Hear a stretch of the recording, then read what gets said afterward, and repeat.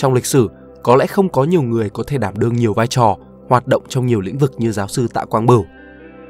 Từ khoa học kỹ thuật, quốc phòng quân sự, ngoại giao đến giáo dục, ông đều đạt được nhiều thành tựu, đóng góp không nhỏ cho sự phát triển của đất nước.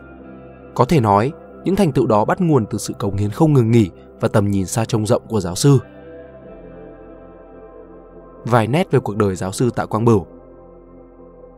Từ khi còn trẻ, giáo sư Tạ Quang Bửu đã nổi trội hơn so với bạn bè cùng trang lứa. Năm 19 tuổi, sau khi đỗ đầu tú tài Việt và đỗ đầu tú tài Tây ban toán, ông nhận được học bổng sang Pháp học lớp toán đặc biệt của trường Louis Le Grand. Sau đấy, ông học cử nhân toán ở Viện Henri Poincaré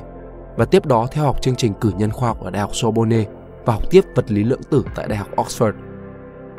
Với học vấn của bản thân, giáo sư Tạ Quang Bửu hoàn toàn có thể tìm kiếm một công việc ổn định để định cư ở nước ngoài. Thậm chí kể cả khi trở về nước, ông vẫn có thể chấp nhận lời mời làm quan, sống cuộc sống an nhàn.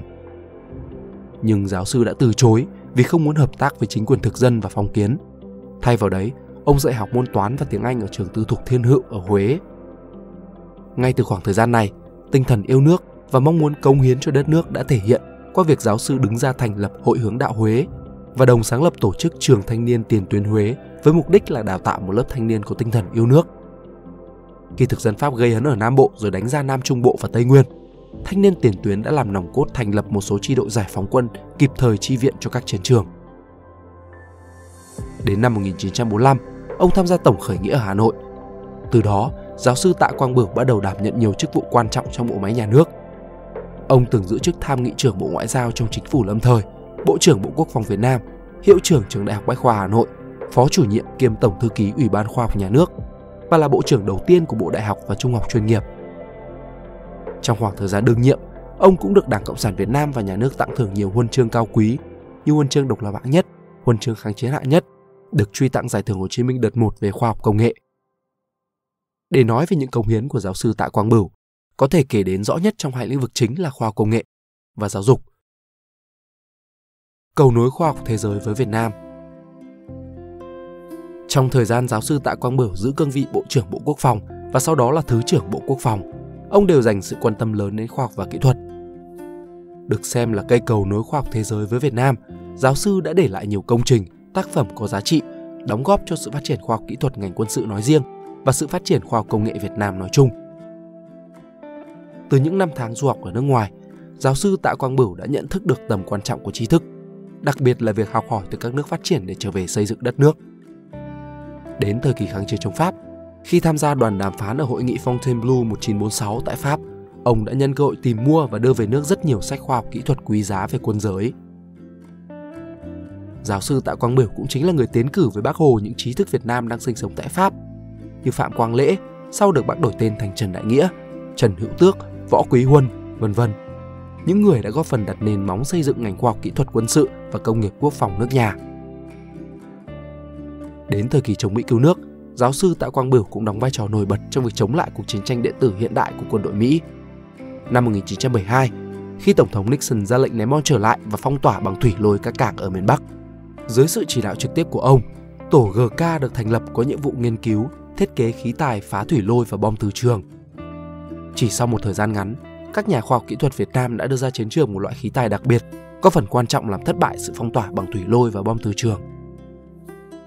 các công trình khoa học khác của giáo sư Tạ Quang Bửu cũng được đánh giá là đã định hướng phát triển một số ngành khoa học cơ bản. Chỉ đạo kỹ thuật việc giả phá bom mìn phong tỏa Vịnh Bắc Bộ, Hải Phòng và chỉ đạo những nhiệm vụ kỹ thuật quan trọng khác trong cuộc chiến chống Mỹ của Việt Nam Dân Chủ Cộng Hòa. Bên cạnh những công trình nghiên cứu của mình, giáo sư cũng cho ra mắt những cuốn sách như Thống kê thưởng thức, Vật lý cường yếu, Nguyên tử, hạt nhân, vũ trụ tuyến và Sống. Trong cuốn sách Sống, ông đã vận dụng những phát minh mới nhất trong vật lý lượng tử để giải thích sự sống trình bày cấu trúc phân tử của gen, sự di truyền và biến dị, tính trội và tính lặn, các tác nhân gây đột biến như tia gen, tia vũ trụ. Phải nói rằng vào những năm tháng chiến tranh, khi điều kiện cơ sở vật chất còn thiếu thốn, những cuốn sách của giáo sư Tạ Quang Bửu đã đóng vai trò quan trọng giúp nhiều nhà khoa học Việt Nam tiếp cận với tương đối luận, lý thuyết mật mã di truyền, toán học lý thuyết cũng như khoa học vũ trụ, tạo nền móng ban đầu cho nền khoa học nước nhà. Như giáo sư Lê Thạc Cán, nguyên viện trưởng Viện Nghiên cứu Đại học và Giáo dục chuyên nghiệp chia sẻ. Chúng tôi yêu quý những thông tin và kiến thức hiện đại mà tập sách đã mang lại trong hoàn cảnh đất nước đang bị chiến tranh, cách ly hầu như hoàn toàn với khoa học và kỹ thuật của thế giới. Có thể nói, những đóng góp của giáo sư Tạ Quang Bửu cho nền khoa học công nghệ nước nhà bắt nguồn từ tinh thần ham học hỏi, lòng quý trọng tri thức và mong muốn phát triển thế hệ tương lai cho đất nước của ông. Điều này càng được thể hiện rõ qua những đóng góp của giáo sư cho nền giáo dục Việt Nam. Giáo dục phải đi đầu để phát triển đất nước.